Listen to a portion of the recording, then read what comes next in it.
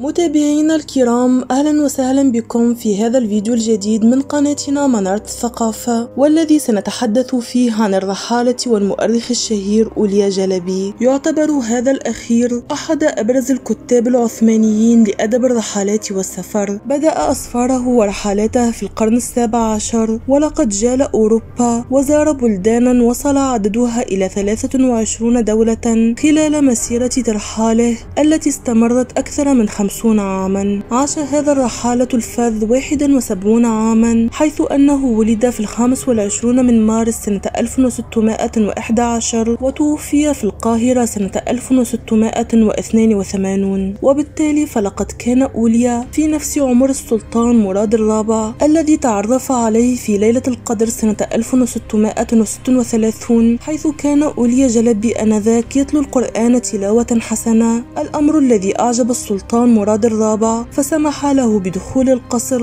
ليتلقى المزيد من التدريب على العلوم. غالبا ما كان يستدعى لمجلس السلطان لحسن تصرفه وآرائه الحصيفة ومهاراته بصفته راويا. حصل على لقب شلبي الذي يعني بالتركية النبيل وذلك طبعا لشخصيته المتميزة. بدأ رحلات أسفاره شابا وروت عدة مصادر عنه بأنه رأى حلما في ليلة عيد ميلاده العشرين مفاده بأن النبي محمد صلى الله عليه وسلم يحثه على حزم متاعه والانطلاق حول العالم. دون أوليا جلبي مشاهداته في رحلاته في كتابه المعروف سياحة نما ولقد كان مولعا بكل ما هو مدهش وغريب ولقد احتوت أعمال أوليا جلبي على الكثير من الوقائع والتدوينات لآثار وشواهد عظيمة في تلك العصور كما تعتبر كتاباته نافذة مثيرة للاهتمام على الحياة الأوروبية وشرق الأوسطية في تلك الفترة التي عاصرها. التحق أوليا شلبي في آخر حياته بالقاهرة ولقد توفي فيها سنة 1684 لتكتشف كتاباته بعد عقود من وفاته ويتم نقلها إلى إسطنبول للاحتفاظ بها. أعزائي هكذا نكون قد وصلنا إلى آخر هذا الفيديو. تحدثنا فيه عن الرحالة الشهير أوليا جلبي نتمنى أن يكون قد أعجبكم وإلى اللقاء في فيديوهات أخرى.